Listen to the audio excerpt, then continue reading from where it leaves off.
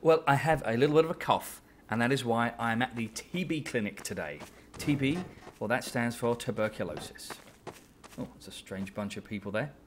Ah, there's Dr. Atkinson. He's looking down my microscopic microscope there. I wonder what he's seeing. Well, this sample of bacteria here, you can see there's two types. And when I add an antibiotic, it seems to be effective against the little brown ones. Hmm. So they are not resistant to the antibiotic. Now, there's not many of the green ones, but they don't seem to be dying. They actually seem to be multiplying. Now that the non resistant microbes are dying off, they can thrive. The resources are there for them to do better and better. There's less competition. This is evolution. Selective pressures.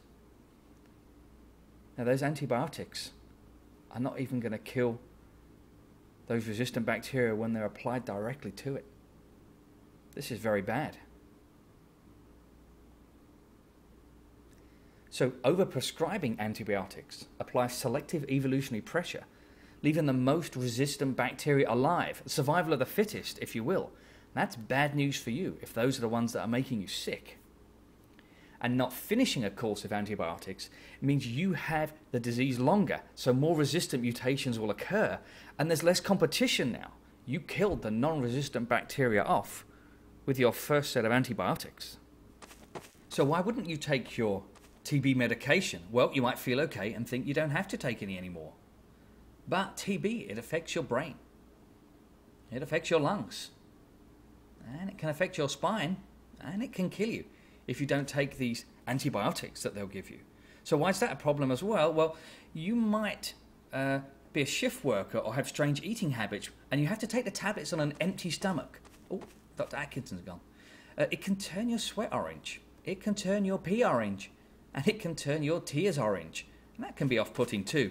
And the pills are really big. And that's another reason why people might not finish the course of antibiotics for TB.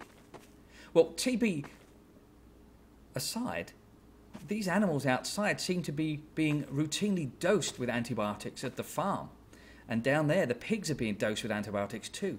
So farmers do that to, to keep the health of the population of the animals up. But of course, the problem is, is they're also breeding bacteria that are resistant to antibiotics. Dr. Atkinson was on the roof to try and pull those syringes out of the chickens. Don't fall, Dr. Atkinson. Oh dear. He's fallen into a snowbank. He should be okay. Right, I'm going to try and find him. Oh, this is really confusing. Everywhere looks the same. Oh, it's like a maze.